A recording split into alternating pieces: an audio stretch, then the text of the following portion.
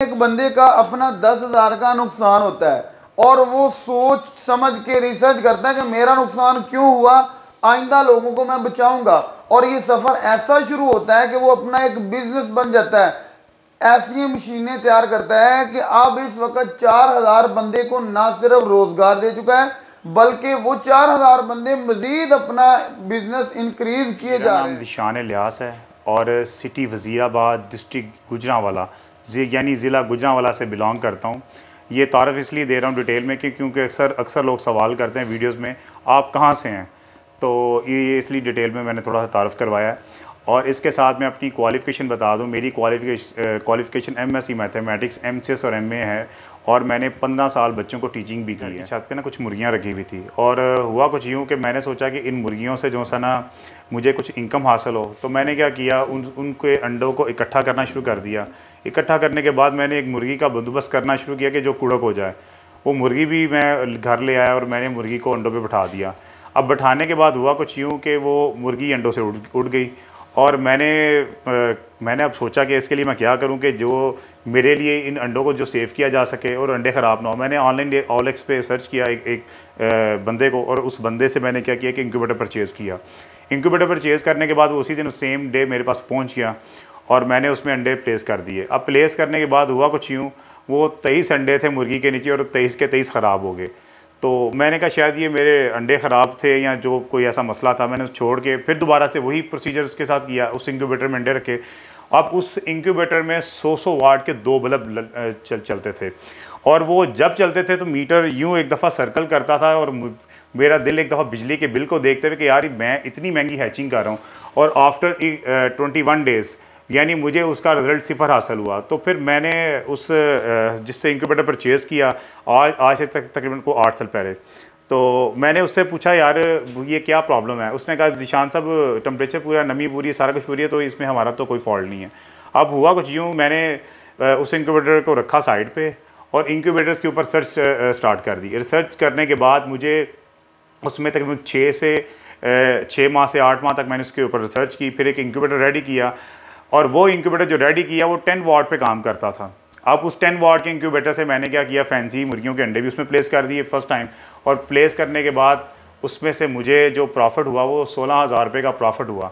यानी उसमें मैंने फ़र्स्ट टाइम जब हैचिंग की तो हंड्रेड परसेंट रिज़ल्ट मिला। जब मैंने सोचा कि मेरी मशीन मुझे हंड्रेड परसेंट रिज़ल्ट दे सकती है तो लोगों को भी रिज़ल्ट दे सकती है हंड्रेड परसेंट पहला नुकसान कितना हुआ था? पहला नुकसान जो हुआ था तकरीबन कोई सात से आठ हज़ार रुपये का नुकसान और पहला प्रॉफिट तकरीबन सोलह हज़ार रुपये का प्रॉफिट था मेरा मतलब कि आपने आठ माह यही सोचने पे लगा दिए कि मेरे 21 अंडे क्यों ख़राब हुए? बिल्कुल और 21 अंडे क्यों ख़राब हुए उसके लिए मैंने दिन रात रिसर्च स्टार्ट कर दी।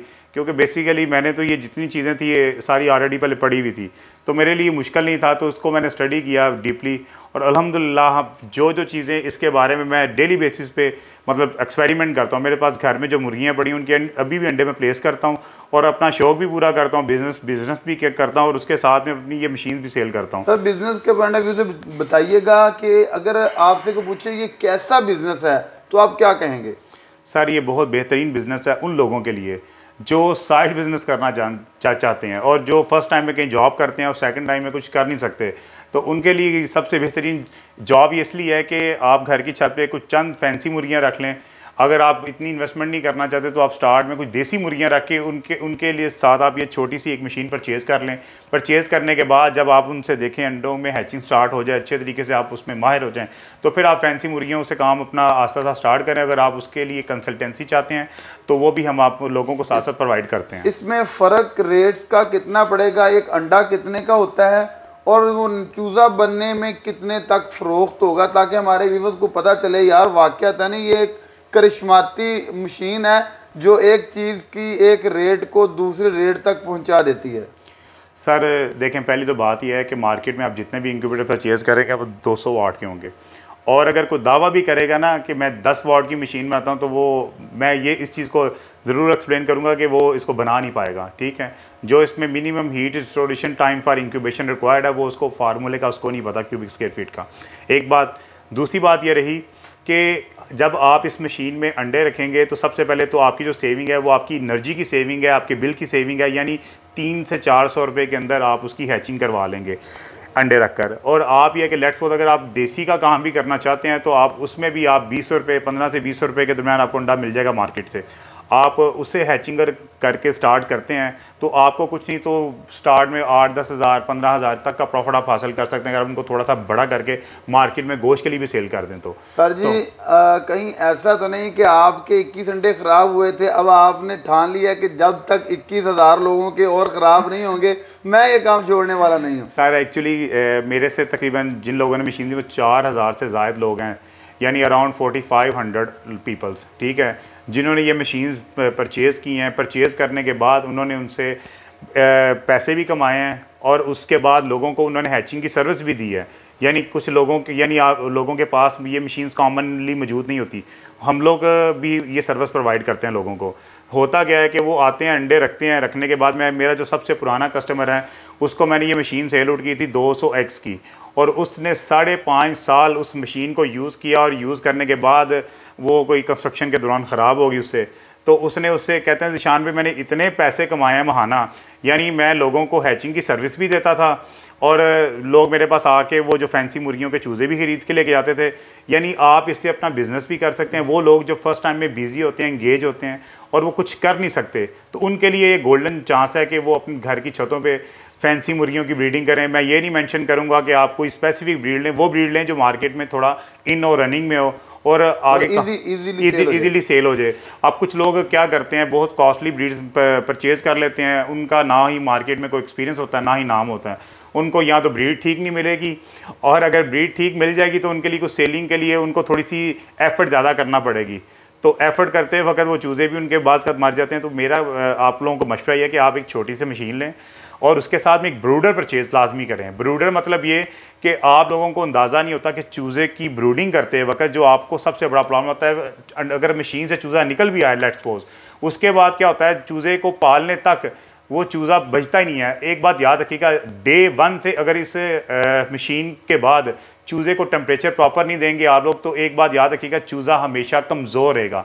मेल न्यूट्रिशन का जो डे वन से कमज़ोर रहेगा वो आपको कभी भी प्रोडक्शन ही दे दे, दे सकेगा। आप उस पर जितनी मर्ज़ी मेहनत कर लें। सर जी लोग रात को आते हैं मार्केट में मशीन लेके जाते हैं सुबह कारीगर बन जाते हैं तीसरे दिन गोदाम होता है पाँचवें दिन शगिर्द होते हैं और छठे दिन वो पूरे शहर के डिस्ट्रीब्यूटर होते हैं। आप कितने दिन पहले आए हैं? सर मुझे अलहमदिल्ला आठ साल हो गए इस फ़ील्ड में।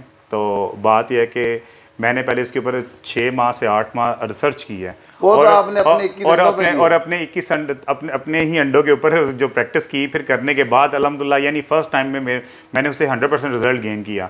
और बात यह है कि जिसको लगता है ये बहुत आसान काम है और रात को ही रातों रात अमीर होने वाला तो वो लोगों का नुकसान करते हैं वो फ़ायदा नहीं करते। तो एक बात याद रखिएगा हमेशा लोगों की भलाई करने से पहले अपने ऊपर एक्सपेरिमेंट करें। कम अज़ कम आप बताइएगा कि इस मशीन से एक बंदा या एक बंदी घर में रख के एक महानत, क्योंकि ये बीस दिन का एक प्रोसीजर होता है।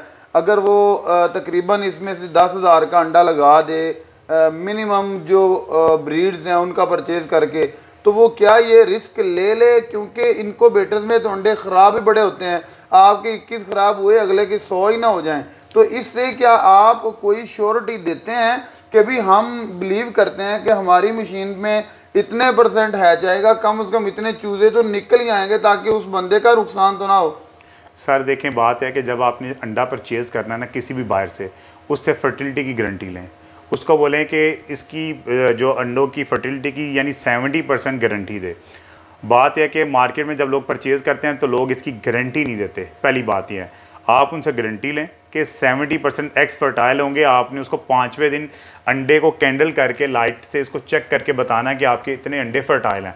उसके बाद बात यह कि आपने जब हमसे मशीन परचेज़ करनी है तो हम आपको डे वन से लेके डे ट्वेंटी वन यानी एक हैज़ से दो हैज़ तक आपको ईजिली इसकी गाइडेंस देते रहेंगे साथ साथ में। और इन आपको वो जो प्रॉब्लम फेस करने पड़ते हैं कि अंडे आपके ख़राब होने के चांसेस हैं मोस्ट प्रॉब्ली इसमें देखा कि लोग फ़ोन भी नहीं उठाते। वो एक दफ़ा चीज़ देने के बाद अब अब बिलीव नहीं करेंगे कि मैंने अभी भी एक कस्टमर को कॉल की मैंने कहा यार तुमने मुझे कॉल नहीं की कॉल कॉल करके पूछा भी नहीं यार मैं मशीन ऑन कर रहा हूँ या निशान भाई वो मैंने खुद ही ऑन कर ली। बात है जब आप खुद ही ऑन करेंगे तो आपको नहीं पता कि इसका तरीकाकार क्या है। पहले तो तरीकाकार हमसे आप वो लाजमी पूछें और मैं मैं अपने यूट्यूब चैनल्स के ऊपर ये सारा जो प्रोसीजर है सारे का सारा मैं अपलोड कर दूँगा कुछ दिन के अंदर। नाम क्या है चैनल का? चैनल का नाम है हैचिंग एक्सपर्ट के नाम से। जी एनर्जी सेवन इंक्यूबेटर्स के नाम से होगा वो भी। ठीक है। यानी आप हैचिंग एक्सपर्ट के नाम से वो चैनल्स को देख भी सकते हैं। उसके ऊपर ये सारी वीडियोज़ मैंने बना ली हुई हैं और वो हम अपलोड भी कर देंगे। पहले हम टेलीफोनिकली भी साथ में लोगों को गाइड करते हैं पर अब अब सोचा कि वीडियो भी उनको ट्यूटोरियल्स मिल जाएँ जिससे वो देख के थोड़ी सी रहनुमाई हासिल कर सकते चलें जी आप इनके चैनल पर जाके सारी डिटेल ले सकते हैं। सर जी? अब प्राइसिस बता दीजिएगा, कितनी कितनी क्वांटिटी में है ये मशीनें, कितने कितने इनमें अंडे लग सकते हैं और प्राइसिस क्या हैं? जी, ये एक हज़ार अंडे की मशीन है, ये फुली ऑटोमेटिक है और ये इसके साथ जो हमने थर्मोस्टेट इंस्टॉल की, ये सारा ऑटो है। इसमें नमी भी ऑटो है और आप इसमें हैचिंग भी कर सकते हैं और आप इसमें इसको 18 दिन के लिए एज अ सेटर भी यूज़ कर सकते हैं। ये हमारी मशीन है 500 एक्स की। और ये भी एनर्जी सेवर है, इस ये 20 से 30 वाट पे वर्कआउट करेगी। और इसकी सबसे बड़ी खूबी यह है कि आपका जो बिजली का बिल है, वो पाँच से छः सौ रुपये से ज़्यादा महाना नहीं होगा। यानी आप एक हैचिंग में तीन से ती थ्री हंड्रेड से फोर हंड्रेड में आप इसकी हैचिंग इस मशीन के अंदर करवा सकते हैं। और ये साथ इसके ह्यूमिडिफायर है जो हम देते हैं। मशीन के साथ इसके साथ में फिर यही सेम मॉडल है और इसमें फिर ये छोटी सी मशीन है तीन दर्जन अंडों की और इसमें तीन दर्जन आप अंडे हैच कर सकते हैं। इसके नीचे ये सो एक्स की मशीन है और ये सेमी ऑटो है। इनके ऊपर सुबह और शाम आपको हाथ फेरना होगा और कुछ भी नहीं करना, सिर्फ़ आपने यानी इस मशीन का शू लगा देना है। इसके आगे ये अस्सी अंडों की मशीन है और ये फुली ऑटो है। इसमें हमने ये तीन थर्मोस्टेट इंस्टॉल किए हैं। तीन थर्मोस्टेट का फ़ायदा ये है कि ये थर्मोस्टेट टेम्परेचर और ह्यूमिडिटी कंट्रोल करता है और ये कूलिंग को कंट्रोल करता है। और ये इसके साथ में ट्रेड टर्निंग सिस्टम को कंट्रोल करता है। अगर कोई शख्स हमसे वाईफाई कंट्रोलर के साथ बनवाना चाहे तो वो मशीन भी हम लोगों को ईजिली बना के दे सकते हैं। और इसके बाद ये हमारे पास ब्रोडर है और इस ब्रूडर की सबसे बड़ी खूबी है कि ये भी एनर्जी सेवर है। इसमें हमने ये एक ट्रे गन के लिए और इसके साथ ये है गन के लिए ट्रे और ये साथ में जाली वाली ट्रे इस पर चूज़ा मूव करेगा और ये गलवनाइज्ड है पीवीसी कोटेड है, यानी चूज़ों के पाँव ख़राब नहीं होंगे। या आप इसमें 21 दिन तक 21 से 25 दिन तक चूज़ों को स्टार्ट पे आप रख सकते हैं ब्रूडिंग के लिए। और अगर आप दो माह तक भी रखना चाहें तो रख सकते हैं, कोई इसमें मुश्किल नहीं है।